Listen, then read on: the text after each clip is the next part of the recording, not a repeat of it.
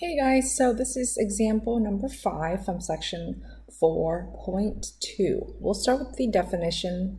Functions with f prime equal to zero are constant. If f prime of x equals to zero, if f prime of x equals to zero at each point on an interval i, at each point on an interval. Let's call it i. Then there is a constant. Then there is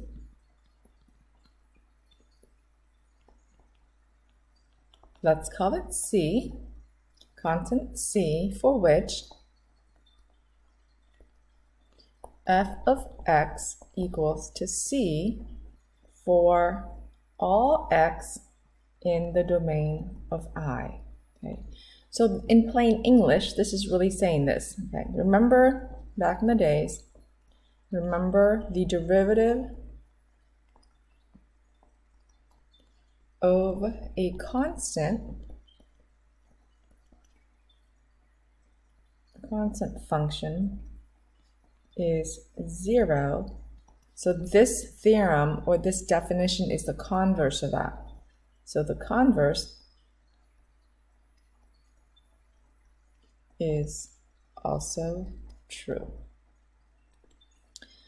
Now our second definition is functions with the same derivative differ only by a constant. So if f prime of x equals g prime of x, if f prime of x equals g prime of x, at each point of an interval, let's call it i again, at each point of an interval i. Then there is a constant c. Then there is a constant c such that f of x equals to g of x plus c for all x in the interval i. So this is, so an example of that would be f of x equals 2x to the 6 plus 800 and then g of x equals 2x to the 6 plus 1. So the derivative f prime of x and g prime of x are exactly the same and the only difference is their constant c. Let's move on to our example 5 on the next page, for me anyway. Example 5 says, for each of the following, find the function with the given derivative whose graph passes through the point P. They gave us the derivative f prime of x equals 1 divided by 4x to the 3 fourths, and the point is 1 comma negative 2. Usually when I'm doing the derivative, I like to use power rule because it's slightly easier than, than um, quotient rule. So I'm going to rewrite this using a negative exponent, which is, oops, this is going to give us 1 fourth times x to the negative 3 fourths, just like that. It's, it wants us to find the function, so that means it's f of x. So f of x equals, remember we're going backwards now, so when you go backwards, what you want to do with the power is you want to add 1. So 3 fourths, negative 3 fourths plus 1. And remember, in the front, you have to think about something here. You have to, I want to keep that open. And then we always have to add C. This is the new key right here. We have to add C, okay? So with that said, you are given a point x is going to be 1, y is going to be negative 2. Let's try to see what's happening when you add negative 3 fourths and 1. So f of x equals, there is a number in the front, the leading coefficient. So currently, if I add negative 1, uh, I'm sorry, negative 3 fourths plus 1, I will have a positive 1 fourth. Now, when you do the derivative, I, you have to glance at your derivative and you have to see, okay, what is the number in the front? Well, the number in the front is 1 quarter. So whatever function you have right here, would that give you one fourth? And right now the answer is yes, so we don't have to worry about the leading coefficient. It doesn't have to change. Now, but still you have to add at c, drop that down. Well, you know what x is, you know what y is, we can just plug those in and then solve. So y is going to be negative 2 equals x is 1, 1 to the 1 fourth plus c.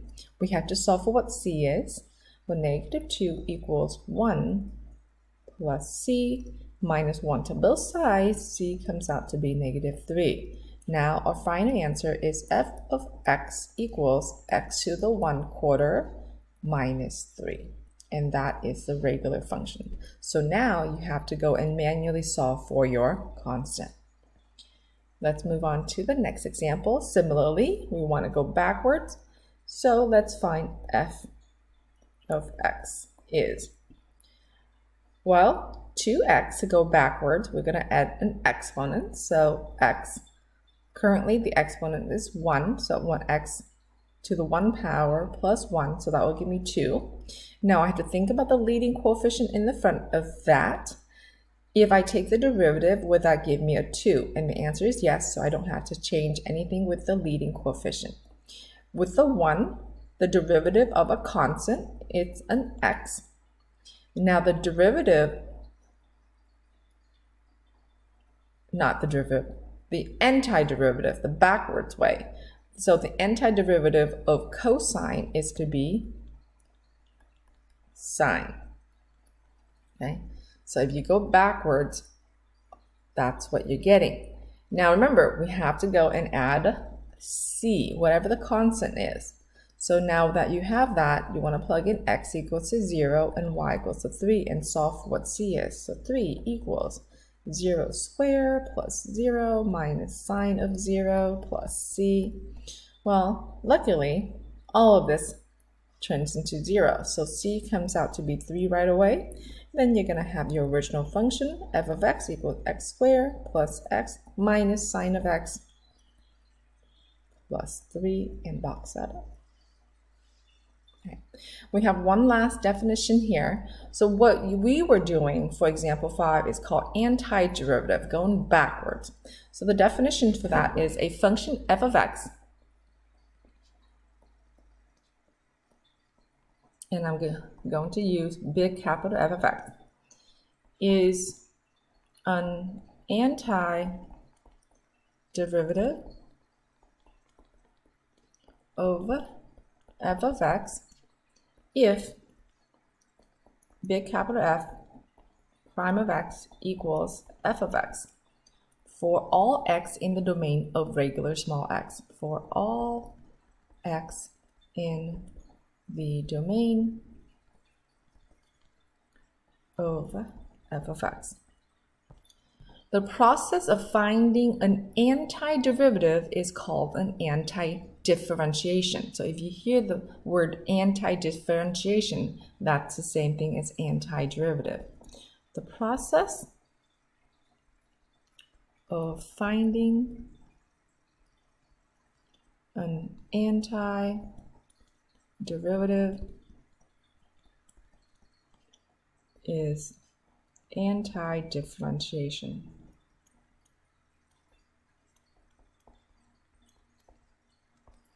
If f of x has one antiderivative, if f of x, small f, has one antiderivative, let's call it big F of x. Okay. Then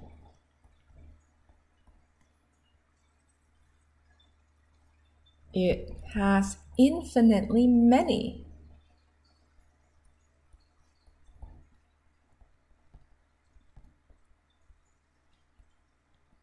And each one differs by a constant. Okay, so what I mean by this is if I give you an antiderivative, big F of x, is one third x to the third. And I would like for you to find the regular function of that. So the regular function of that would be x squared. Well, remember, but this, to be fair, f of x antiderivative can have different form. They can all differ by a constant, and the constant can be anything you want to be. So technically, I can have f of x, big f of x equals 1 third x to the third plus negative 1,000. Big f of x equals 1 third x to the third plus negative 5. So whatever the constant is, you can have many big f of x, which is you can have as many antiderivative as you want.